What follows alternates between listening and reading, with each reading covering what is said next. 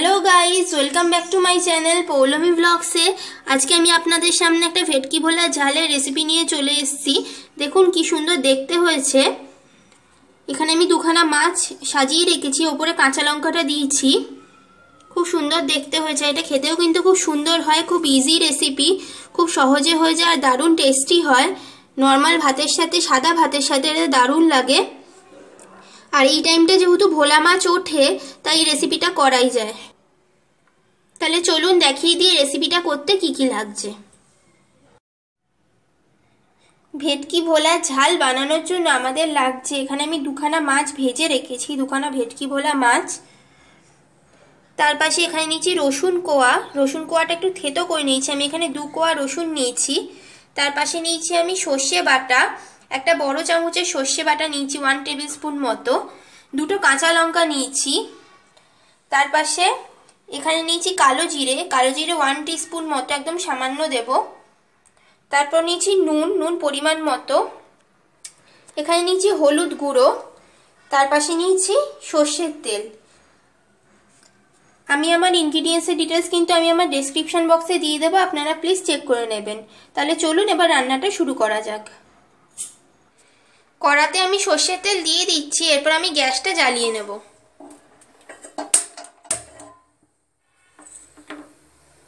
দেখুন, তেলটা দিয়ে দিয়েছি।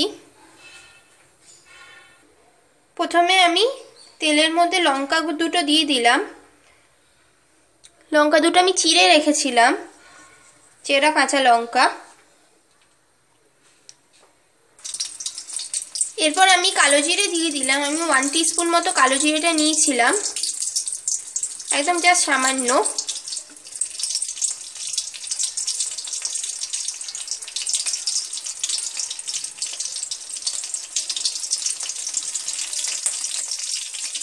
এরপর আমি রসুন কোয়াটা দিয়ে দিলাম। আমি দু কোয়া রসুন একটু থেতো করে রেখেছিলাম, সেটা দিয়ে দিলাম।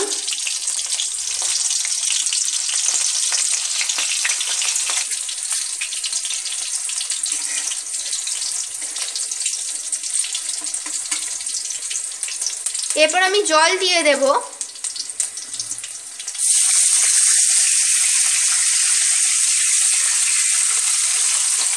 আমি এখানে মশলা বাটার জলটা ইউজ করেছি।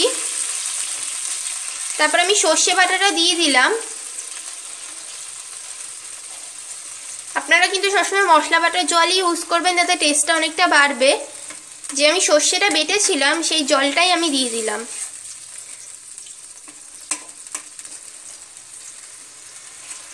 সর্ষে বাটা আমি ওয়ান টেবিল স্পুন মতো নিয়েছিলাম। সাদা সর্ষে বাটা অবশ্যই। এবার আমি নুন দিয়ে দিচ্ছি, পরিমাণ মতো নুন দিচ্ছি। আপনারা যতটা নুন খেতে পছন্দ করেন ততটাই নুন দেবেন। এবার আমি হলুদ গুঁড়ো দিয়ে দিচ্ছি।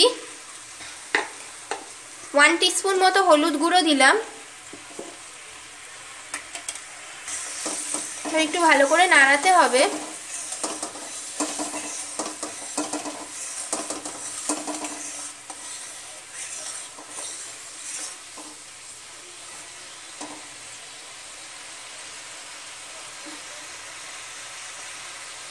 তারপর একে একে মাছগুলো দিয়ে দেব।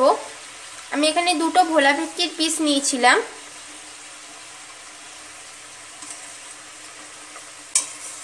এই মাছটাও যেমন খেতে ভালো, মাছটা এইভাবে সুন্দর করে রান্না করা হলে সেটার টেস্টটা অনেকটা বেড়ে যায় আর দারুণ হয় খেতে।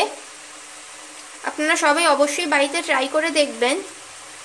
খুব সহজ রেসিপি খুব তাড়াতাড়ি হয়ে যায়। ঝামেলাও নেই, মশলা খুবই কম, কিন্তু টেস্টটা হয় অনেক বেশি।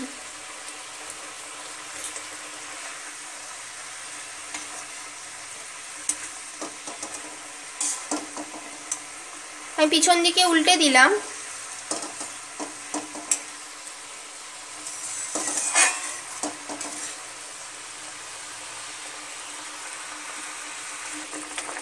দেখুন, এটা কিন্তু আমাদের ফুটছে। গ্যাসটা কিন্তু আমি একদম লো ফ্লেমের থেকে একটু বেশি করে দিয়েছি, আবার মিডিয়াম ফ্লেমের থেকেও একদম একটু কম করে দিয়েছি। জাস্ট মিডিয়াম আর লোর মাঝখানে মাঝখানে রাখবেন। দেখুন, আপনারা ফুটতে ফুটতে ঝোলটা কিন্তু অনেকটাই কমে এসছে, একদম মাখা মাখাই বলতে গেলে হয়ে গেছে। এরপর এটা কিন্তু আমি গ্যাসটা অফ করে দিয়ে সার্ভ করে নেব। আমাদের কিন্তু হয়ে গেছে এটা রান্না। আমাদের কিন্তু ভেটকি ভোলার ঝাল একেবারে রেডি হয়ে গেছে। দেখুন, খুব সুন্দর দেখতে হয়েছে আর খেতেও খুব সুন্দর হয়েছে। এটা কিন্তু নর্মাল সাদা ভাতের সাথে ফাইন রাইসের সাথে বা বাসমতি চালের সাথে দারুণ লাগে। এটা কিন্তু মেনলি লাঞ্চের খাবার, লাঞ্চের ডিশ আপনারা সবাই বাড়িতে ট্রাই করতে পারেন, খুব সহজ রেসিপি তাড়াতাড়ি হয়ে যায়। আর টেস্টি রেসিপি আমার এই ভিডিওর লিঙ্ক যদি আপনাদের ভালো লেগে থাকে, তাহলে অবশ্যই শেয়ার করুন লাইক করুন কমেন্টস করুন, এবং নিত্য নতুন আরও বিভিন্ন ধরনের ভিডিওর আপডেটস পেতে আমার চ্যানেলটিকে সাবস্ক্রাইব করুন। Thank you